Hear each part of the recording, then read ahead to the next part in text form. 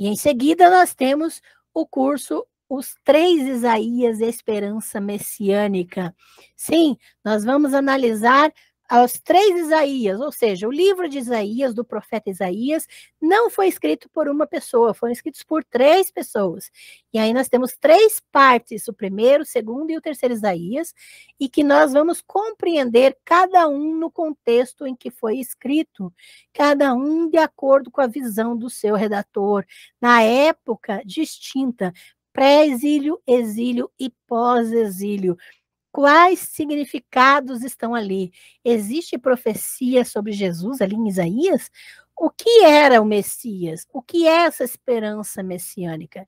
Não perca os três Isaías, a esperança messiânica, e os ingressos já estão à venda.